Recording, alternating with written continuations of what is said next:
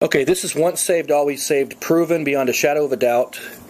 But whosoever drinketh of the water that I shall give him shall never thirst. It means you'll never go to hell. But the water that I shall give him shall be in him, a well of water springing up into everlasting life.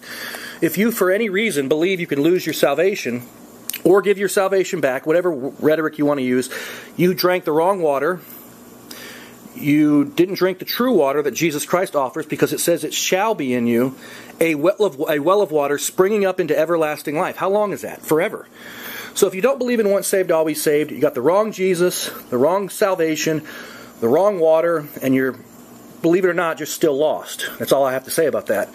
And I'm putting this up not to offend, I'm putting it up so people will actually get saved the Bible way by simply believing in Jesus Christ he that believeth on the Son hath everlasting life.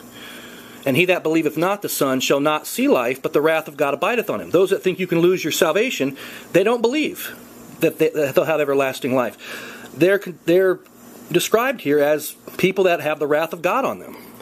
And more proof on, on this is in John 10, Jesus says to believers, it says, um, My sheep hear my voice, and I know them, and they follow me, and I give unto them eternal life, and they shall never perish. That's once saved, always saved. But to the people that don't believe this, he says, But ye believe not, because ye are not of my sheep, as I said unto you. So when somebody says, I don't believe in all that once saved, always saved, then that's them. Ye believe not, because ye are not of my sheep. That's the reason why you don't believe it, because you're not saved. Saved people believe in once saved, always saved, because he describes them as people that have eternal life, and that will never perish. And he goes on, neither shall any man pluck them out of my hand, including yourself. You can't even pluck yourself out of his hand.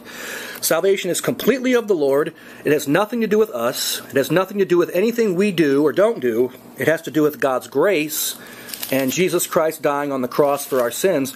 And once a person is saved, they're always saved, and they always will be no matter what. Because it's eternal, and because Jesus paid for all sin even the future sins. That's all I have. Thank you, and we are off.